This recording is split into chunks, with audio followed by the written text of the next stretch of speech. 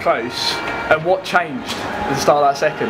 Um, I think we just settled. Like I know for me, especially like first quarter, you're all like, like adrenaline's going, like you're really a bit erratic. But then we knew that was going to happen, and we knew we would settle. And I think that's why we just absolutely smashed the second quarter. And was it was it the second quarter where you like early on where you realised that you'd broken? Yeah, I think so. Yeah. By the time we got into the second half, we knew we just had to keep doing what we were doing. Yeah. And the uh, the weighted long balls to Rochelle is that like is that like the staple tactic all season? Or just, Well, it worked like it worked like a dream You've seen today. the size of her. You can't not anyone choose that. so yeah, it works. Um, and oh, uh, in your each of yours opinion, player of the game, player of the match. No, and you actually, and you, both of you. No, yeah, both of them. Actually.